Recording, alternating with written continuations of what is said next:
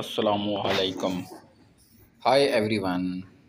Today I tell you about Mach 3 controller board. This is board used for CNC machine.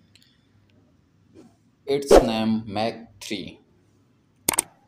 Today I will tell you about what is function of this board. First function of this board this is USB port. This is USB port used for data travel.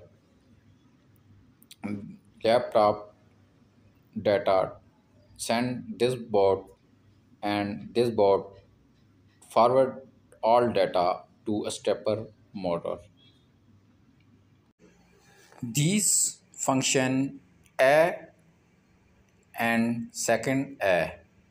These two port are stepper motor A axis. These two port using for stepper motor Z axis. These two port are using Y X axis.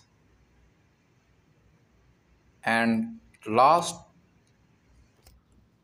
these two port using for X axis and ground and 5 volt two ports using for 5 volt for this CNC Mach 3 board. We give 5 volt for this board because requirement of this board 5 volt.